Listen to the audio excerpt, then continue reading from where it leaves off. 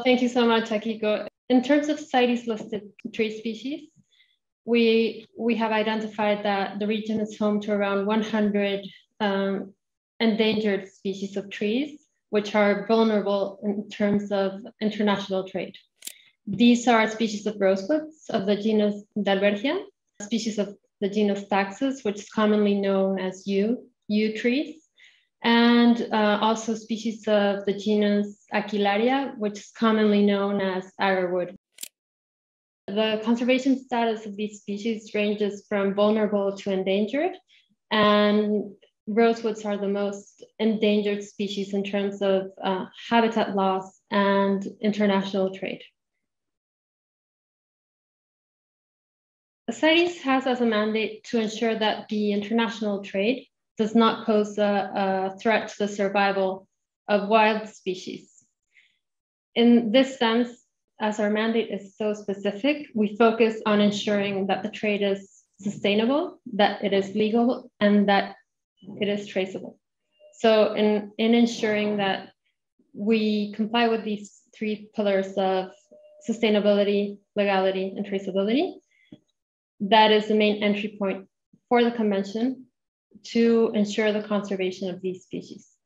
In terms of sustainability, CITES has a core requirement that is called a non-detriment finding, which means that before any export or even harvest takes place that is intended for international trade, a scientific authority has confirmed and has made an assessment that a given amount of, of harvest will not pose a threat um, to the long-term survival of the species. That is the, the, the core requirement in terms of sustainability.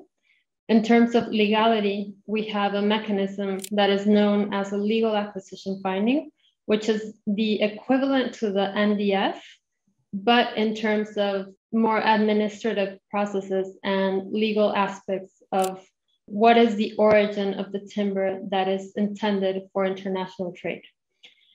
And of course, this aspect of, of legality is closely linked to traceability. And one of the ways that CITES addresses traceability is through permit management. And one of the avenues to improve permit management is automating the permits through electronic systems. So that is one of the lines that we are exploring also under this project. And in terms of general compliance, we are also talking about enforcement.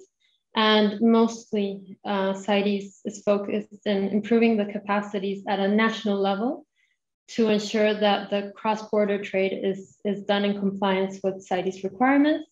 And this can go from a simple um, ver verification that all the permits have been issues, issued in accordance with CITES requirements and also it could have implications regarding illegal trade and, and follow-up of, of any processes related to, to trade that has been identified as illegal.